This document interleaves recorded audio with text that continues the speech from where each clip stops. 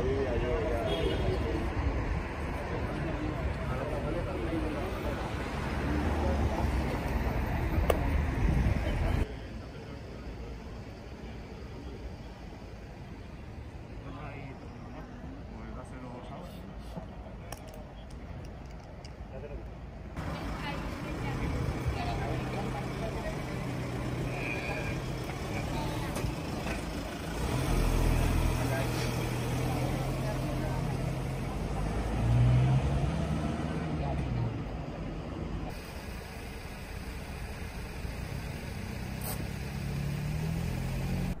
Hemos atendido a un joven de 22 años, consecuencia de un accidente de moto con un gran desplazamiento.